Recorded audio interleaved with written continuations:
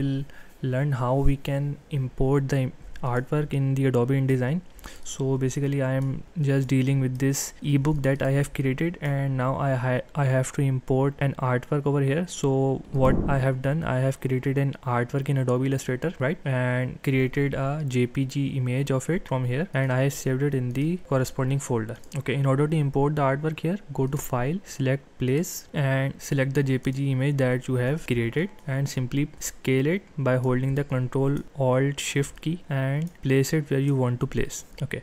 Now the good thing is that you have placed the image where you wanted to put but the bad thing is that if you want to make any changes to it you will not be able to do so as this is the jpeg image and it is not editable. So in these scenarios what we do we do not import the jpg image. In fact we import the ai file that we have created. Basically we have created this ai file and we will import the ai file in the adobe InDesign so it remains editable if we need to make any changes in the future. So i have just imported the ai file over here right? And let's suppose you want to make any changes to it. Just place it where you want to place right? Let's suppose you want to change this title from here this is completely editable and the process will be just select the artwork go to window links and here you can see that the AI file that you have linked is over here. Right click on it and click edit original. When you click the edit original it will open the Adobe Illustrator or any other software that you have created to create the artwork. And let's suppose you want to remove it.